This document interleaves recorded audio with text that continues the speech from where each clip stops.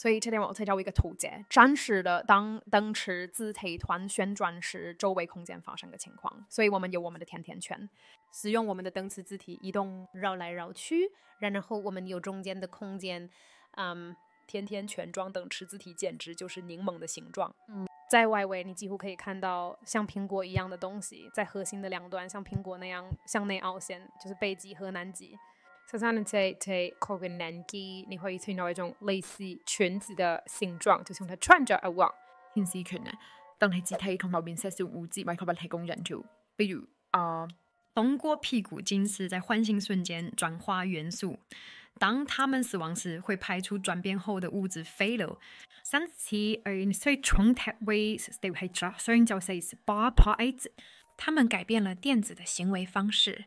使得金属和高温陶瓷也能够是非热流态化的，这意味着它们的行为与液体相似，但不需要通常融化它们所需的高温。然后它们立刻在它们苹果形状的周围被迅速旋转，这是它们成为世界上最快的隧道掘进机。疯狂的是，如果我们再放大一些，你会发现在这个主要的甜甜圈换里，竟然还有更小的甜甜圈，这真的是。就像这个篮子，个轮子里面哦，个轮子里面，我们在哪里听过这样的话？难道这就是当的圣经记录一细节的轮子？轮子里面，轮子里面是他想要解释什么？看看这个环形结构的形状，它看起来像什么？这个杆子就是 A A O 的生命之有的反版。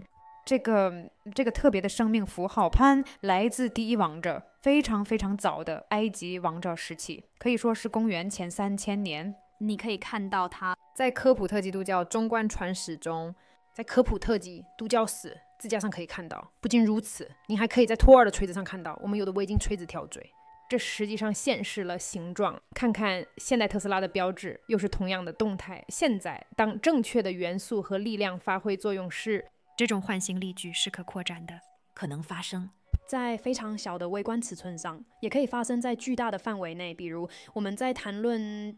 还有那个柠檬城中心或者更大的地方，蒙起一架飞机。